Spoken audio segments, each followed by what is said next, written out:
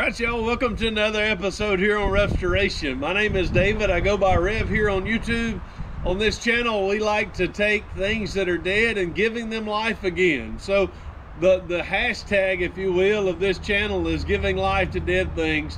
Most of those dead things are old Fords that have been sitting up in the woods or sitting in someone's yard, hadn't run, didn't have life for a long time, and we like to bring those things back to life. But those of you who have been a part of the channel probably know over the last couple of weeks, we have put out zero content. The reason of that is we had planned on, uh, we were taking a vacation and we were getting ready for that vacation the week before. Uh, so we didn't have a lot of uh, car content. And then we had Easter Sunday. I'm a full-time pastor and being a full-time pastor, Easter Sunday is a big deal. Had a great worship service uh, Easter Sunday. After the service, we came home, we packed our camper, and we took off to Tennessee. Uh, we went camping and had a, a, decent time. I started feeling where I wasn't feeling all that good, couldn't sleep at night, and uh, we came home early, uh, went and got tested, and I was positive for COVID. Uh, my son, JC, uh, was positive about three months ago on the channel. You probably remember is that Nikki T tested positive. I started feeling really bad, had the same exact symptoms. I made the assumption that I had COVID then. And to be totally honest with you, I do believe I did. Uh, I believe I have gotten two uh, strands or two sicknesses.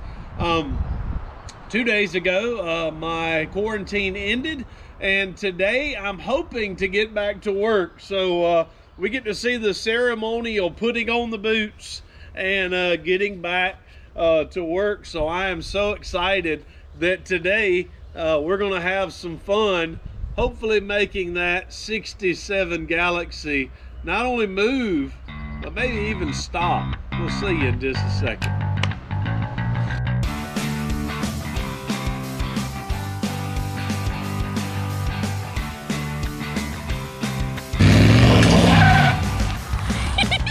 So let me let you in on a secret of YouTube.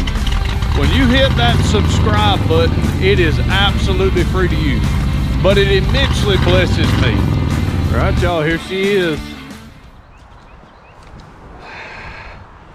To get ready for camping, I moved the old rig uh, from the place that we broke the camera, knocked the camera down, broke the stand, did all of that. So we're gonna try to move the car back and uh, get it back on the concrete so that now I can finally do the brakes. I got a little bit of time today. Uh, I think I have all the parts I need except the rear wheel cylinders. So we're gonna hope they're not froze up. We shall see, they probably are. Probably have to order those in, uh, but at least we can get 80, 90% of the job done today is the plan. So uh, hopefully we can even make it stop today. All it needs is front brakes, right? All right, as we get here under the uh, the engine, this uh, Sweet 289, we've cleaned some of it off. actually uh, cleaned a little bit. This, uh, I found out something that the oil that we uh, put on the car, it attracts pollen. And the pollen has just stuck to it. Hopefully a good wash, another spray down, and it'll come back and look uh, good again. Um, but even on the engine, where we put it on the engine, it actually gives it a kind of a neat, a neat look. Um, but we have our uh, two liter Mountain Dew bottle full of gas. I just hooked up uh, the battery again. So let's see if she'll crank. All right, let's see. One, two, two pumps. Old battery. Old battery's weak. Old battery's weak. All right, come on. She's wanting to. She's wanting to. Sort of cranked.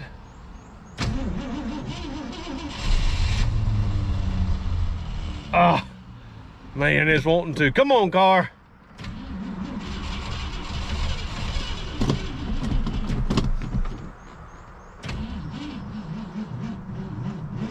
Don't tell me the battery.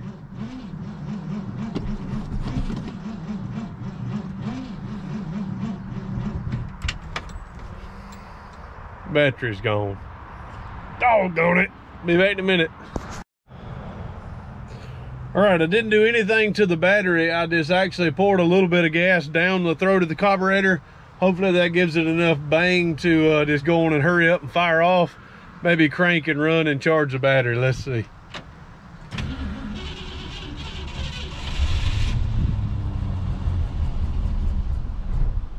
She ran for a second.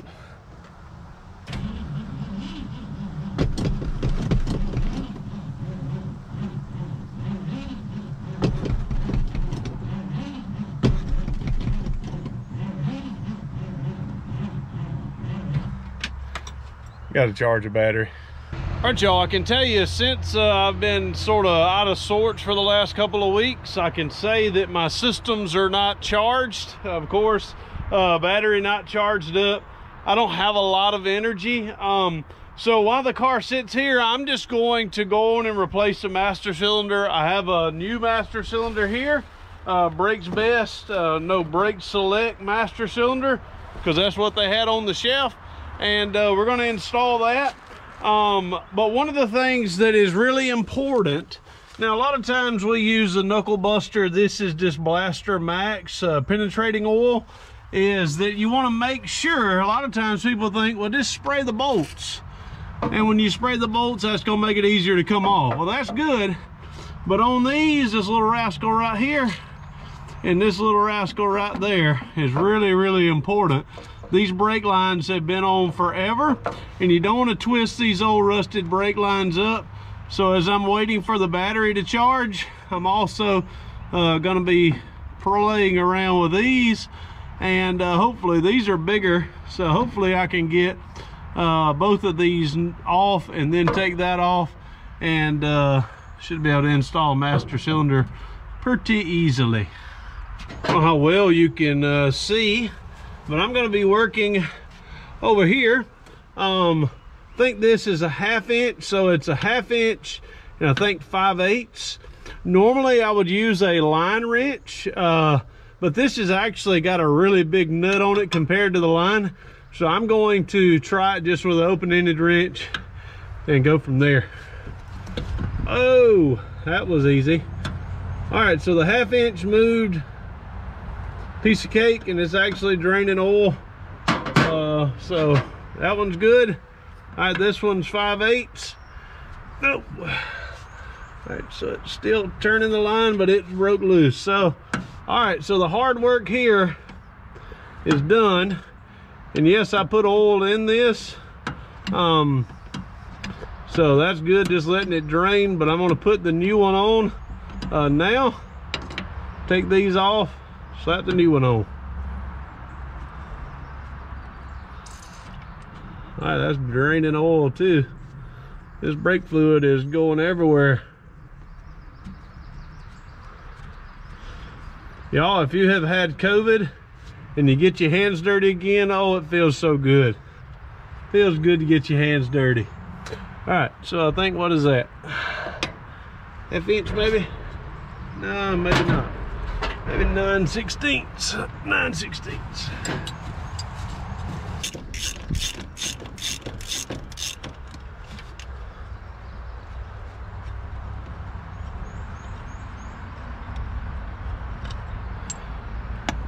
so, so now is it to the pedal that it won't come out. Looks like it's hooked to the pedal on the inside. So uh, I'm gonna go get it off the pedal. Be back in a second. All right y'all it is unhooked off of the brake on the inside. Pulls right out just like that. Right of course here's the old master cylinder. Here's the new master cylinder you got to get the plunger uh, have to install the plunger this way and uh, then go backwards. So then put everything back on and before we hook up the brake lines, we have to bleed the new cylinder. So I'm gonna get it installed. When I get it installed, I'll show you uh, bleeding it on the car. I will not use the belly method. All right, one of the things that's always important is to make sure that your plunger length here is the same. Of course, on old pudding over there, I've had an issue with the power brakes not allowing the plunger because the power brake has an adjuster on this Uh, so that adjuster, I had it adjusted too far in and it was not allowing the master cylinder to release. So it was holding pressure to the wheel cylinders and causing all four wheels to lock down. That's not good. So gonna make sure your plunger length is the same on this. It's pretty standard. So now I'm just going to uh, reinstall this. So now when I go inside and begin to pump the brake, you probably saw a little bubble there. The bubbles are gonna start coming out of these cylinders. If you see down in here, those holes, there's gonna be where the air is coming up. There's a rod going back and forth here and the air that is down in there needs to be replaced with this fluid. So I'm going to lightly pump. You don't want to hit it once again with a lot of horsepower because if you do, you're going to squirt it way up in the air. Of course, I'm going to go hit it real softly and uh, make sure it's going down. All right, can y'all see it? Let's see if we can get you. All right, that ain't too bad of an angle. Hopefully I don't get old on y'all.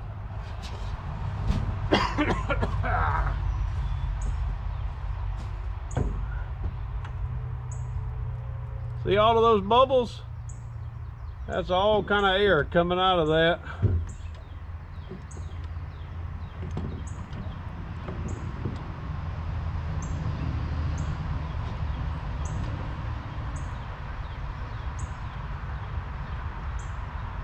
Get all the air out of the master cylinder is really important.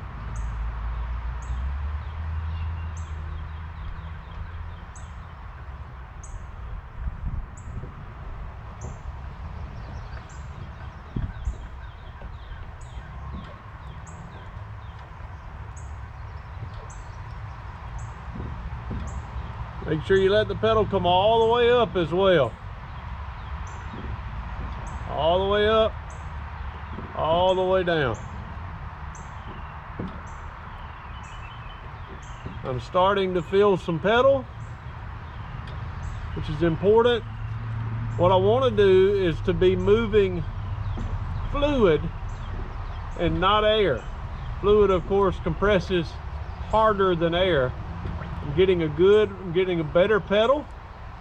Still getting some air out. The pedal all the way up until all I'm doing is pushing fluid.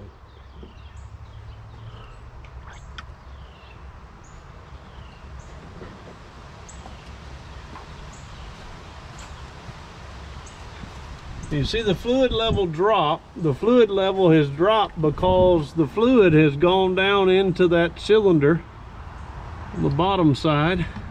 I'm gonna fill it back up. Repeat the process until I get no bubbles whatsoever. Um, then we're good. All right, the battery is charged. He ran for a second.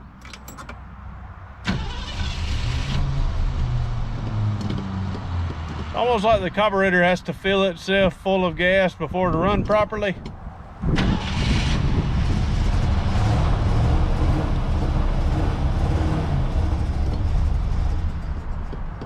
It's not there yet.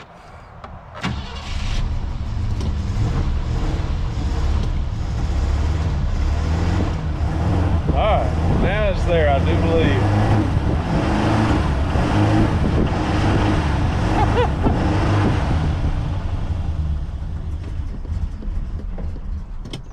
Thought it was, it's not.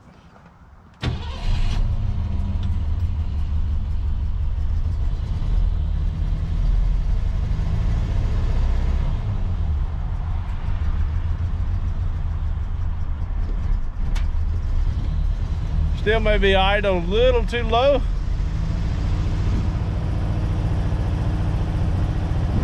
Maybe the engine's not warm enough yet, but she's running. She can't hardly tell it, can you? Oh, that's a smooth running engine. There she is. Oh, sweet running 289. I think my belts need to be tightened up a little bit. She's still got a little rock to her. Um, hopefully that'll work itself out. Um, I'm gonna tie this up here and uh, hopefully back her up. Last time it was an adventure, this time it'll probably be an adventure.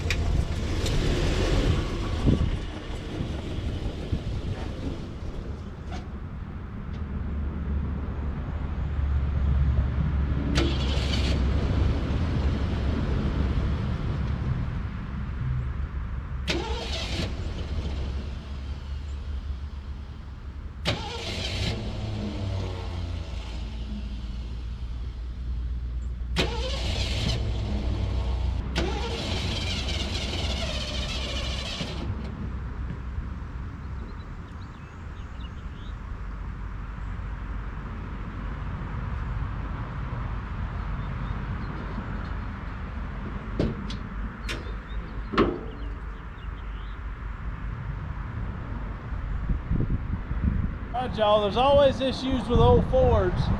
Particularly with the carburetor, I think I got it running good enough to back it right in here.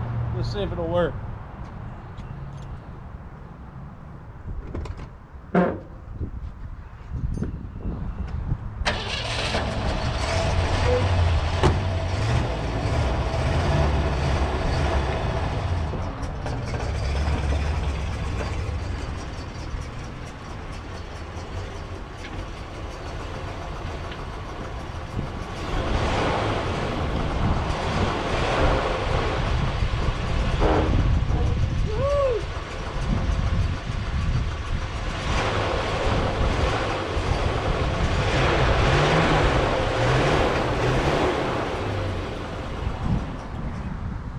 Now, let's get these beautiful wheel covers off, get the tire off. Let's get to working on these front brakes. All right, y'all, just want to let you know, if you've ever had COVID, you know it doesn't take much to wear you out when you're recovering from that. Um, I'm working a little bit, I'm working slow. I'm probably not going to get done in one day, which is embarrassing to me. Um, but I need uh, the rubber line. I'm not getting any juice uh, coming out of the wheel cylinder here. So I'm gonna go get a rubber line for both sides of the front. Uh, what else do I need? I need the old man. Boy, I need the old man. I need somebody in here to pump brakes. Nikki T's working and uh, I got a little bit of time. I probably got an hour left. So I think I'm gonna go go get some rubber lines and uh, I'll probably just go and replace everything like was my original plan. Y'all, had to get rubber lines. Uh, the rubber line on the driver's side was clogged. It wasn't allowing uh, fluid to go through. Got the rubber line, got this side installed. So I'm gonna install this tire that I'm sitting on, go back over to the other side, jack that side up, take that tire off. Then I'm gonna get Nikki T out here and Nikki T is going to uh, help me bleed the front brakes. I'll go to get that. So hopefully we can get front brakes in this video. I am wore out. COVID has kicked my butt. Um, I feel fine. I just don't have any energy whatsoever. So, um, 15 minute job uh, is taking me an hour. It seems like everything is just slow.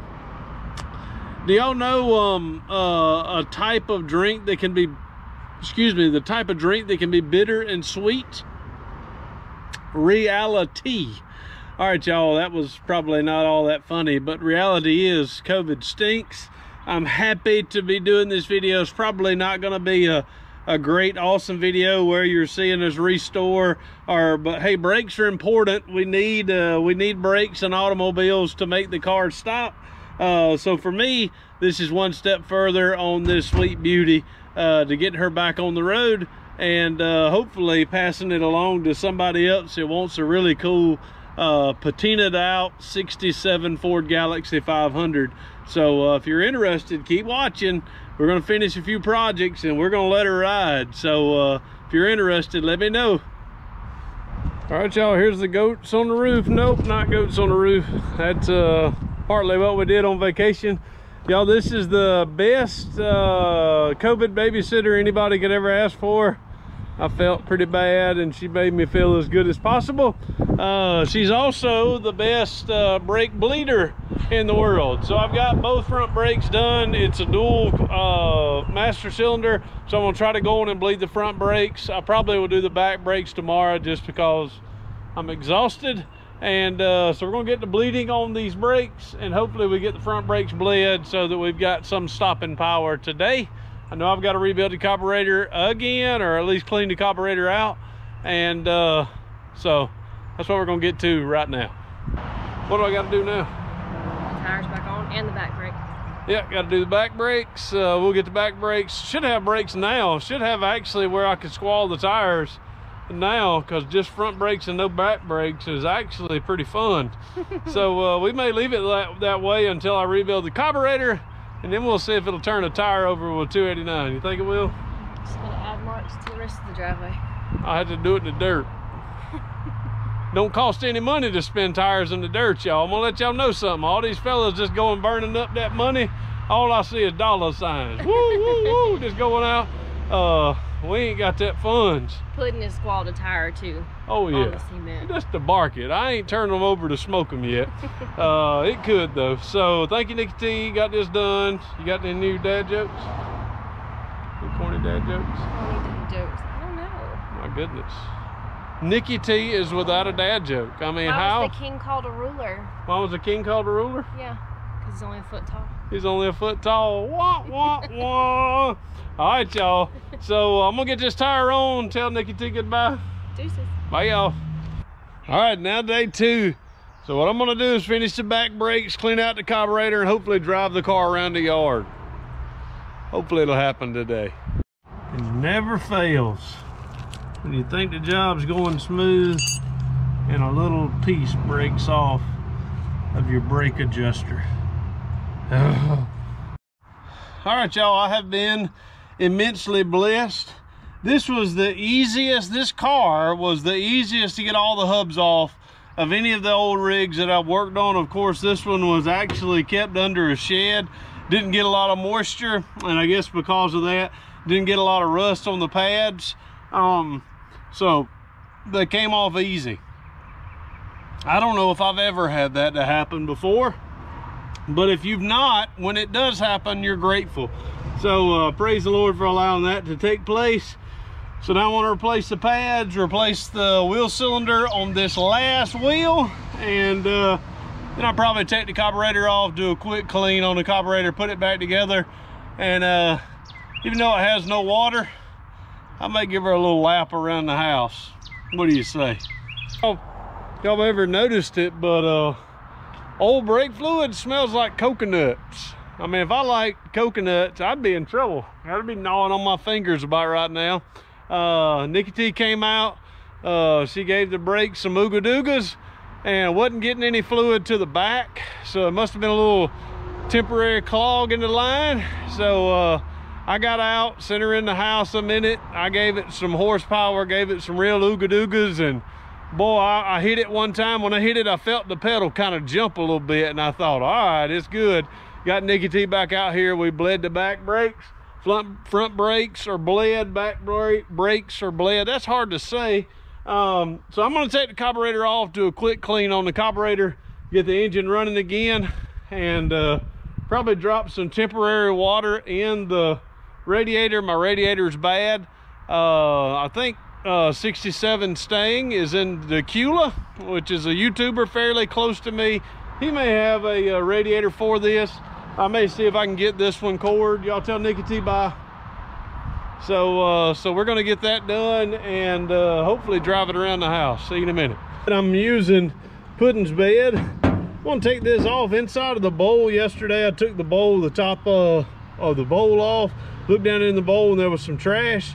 So I wanna clean that out and do a few other things. Look at all of that. I mean, there's all, I mean, I don't know how did what is that? Look at that stuff. How did that get in this carburetor? I don't have a clue, but I know whatever it is, it's got to come out. So uh, let's get to it. All right, y'all, this carburetor was cleaned out. What is that? I've never seen anything like that inside of the carburetor. It's all in the bottom. Look at that, all in the bottom of the carburetor. I know those jets are clogged. I know probably the um, power valve in the bottom is clogged. I'm sure, look at that. What the heavens causes that? I've never seen that in a carburetor that I've rebuilt. I don't know what could have caused that. It's gelatin-like, it's gummy. That's weird. Ugh. All right, y'all, this carburetor was rebuilt late one evening while me and Nikki T was trying to get the Galaxie to run for the first time. We got it to sort of spit off. We called it running, went back out, had all these kind of issues. The car has set for a long time, a long time, three, four weeks without running. Tried to crank it the other day and it sputtered and spit and finally, but not running good. Will not run good. Took the top of the carburetor off and this is all that I found. Look at all that stuff there. All that down in the carburetor. And this carburetor was cleaned out. Now y'all remember that looks like sand. I think I know what it is. I think I know what's causing it. Let's see if I can get some sunlight on that. I think I know what all that is. Anybody got an idea? Um, put it in the comments down below. And uh, if you're the first one to guess it, now remember, remember what I use as a gas tank. Maybe that'll be a hint too much for you to think. I'm thinking that may be part of the issue. Tell me what you think down in the comments below. So I'm going to, now that I have the uh, carburetor cleaned out, I have filled up some new gas. I'm going to turn the engine over until we can get um, fuel to the carburetor.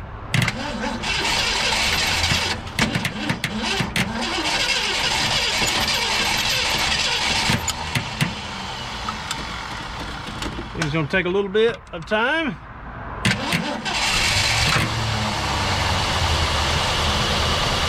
Well, maybe not.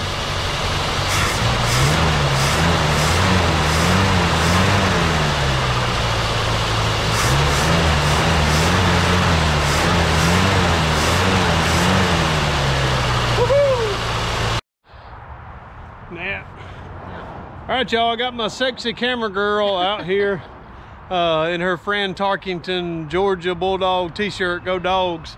Um, but I have cleaned the carburetor out. think we've got the brakes all done and bled. I have cranked it up, make sure gas was getting to the carburetor. I filled the leaky radiator up with water and I still got water running here. I think it's enough for me to test the brakes here. And then if the brakes are good enough, I'm gonna try to make a lap all the way around our house and make it back here. You think I can do it, Nikki? We'll see. What did I? What was my warning to you that I told you? Oh, don't stand in front. Don't don't stand in front. See, y'all don't No think I ever have any safety measures. That is the safety measure. Don't stand in front I of the know car. better. She knows better. All right, y'all, let's give it a go. Already off to the side. All right, y'all, first time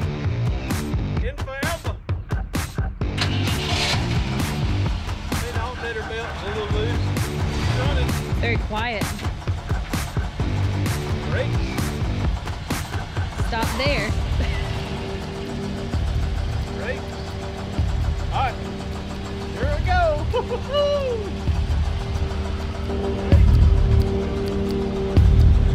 Great light.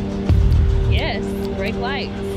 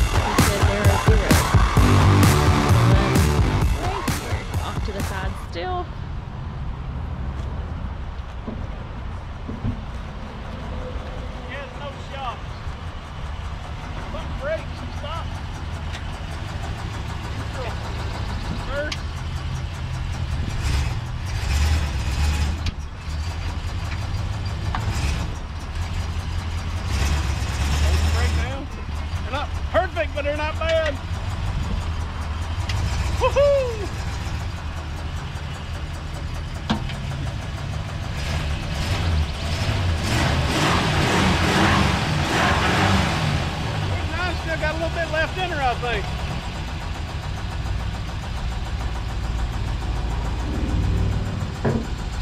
So old Wheezy has brakes. Whew. Old Wheezy can drive, y'all. can you believe it? Let's get over here by the car. I actually wet it a little bit because you know it's not it's not for sale yet, but you're always supposed to wet a car before you sell it. Ain't that right, Nikki T? Oh yeah. Don't worry. She's gonna be for sale one day. Oh, look at her. She's got her got her for sale already. All right, the brakes are still a little spongy, so I've got to uh, probably got to rebleed the brakes again. Probably had still had some air in the line. Uh, I've got to work on the gas tank, get right fuel delivery, uh, check on the gas tank, see how good it is. I've got to redo uh, the, got to get a radiator for it. And I also have to check, I think I have uh, transmission leak or power steering leak. Both of them have power steering fluid. I've got to do that. But hey, y'all, she uh, drives. She not only cranks and runs, but now she drives and stops. So uh, she's running, y'all. Do y'all hear that? She's Quiet. She's a very quiet old four-door. Y'all, I'm starting to like the old car, and I don't think Nikki T wants me to like Miss Wheezy as much as uh, as much as I do. Uh, but she's running, y'all, and I'm pleased. You got anything to say, T? All right, y'all. We love y'all. We appreciate you watching. I'm back from COVID, not 100%, but getting this old girl running and stopping is a blessing to me. It's good to get a new video out, and it's good to get this old girl running around the house. Next time, maybe we'll put her on the road. Deuces. May God bless.